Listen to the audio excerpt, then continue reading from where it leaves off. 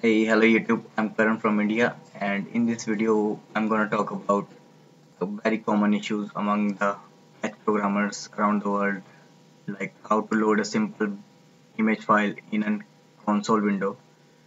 As we all know that CMD is a CUI based batch console, like you cannot directly use mouse into the CMD console, and it has a very limited space and functionalities.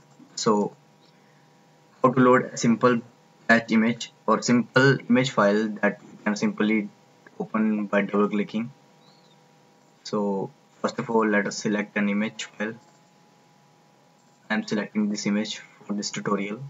So first of all you need to know that the image that we can load on the console window for example CMD console it should be a BMP file bitmap image.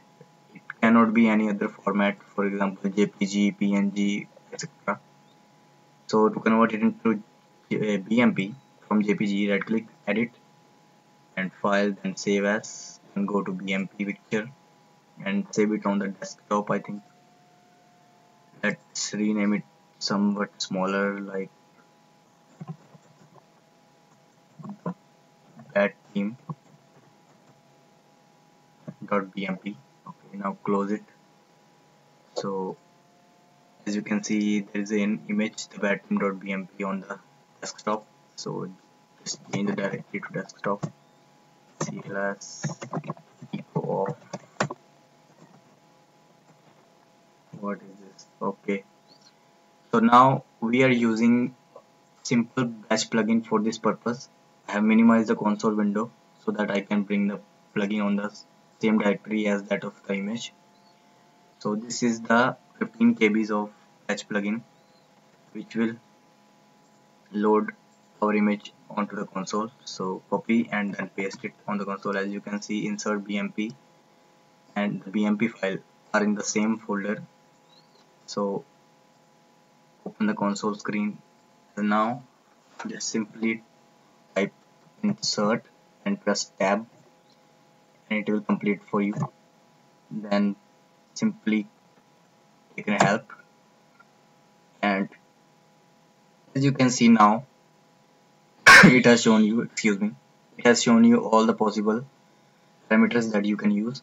So I'm simply using insert BMP and using the path of the image which is nothing but the name of the image here the bad batim.bmp and then let me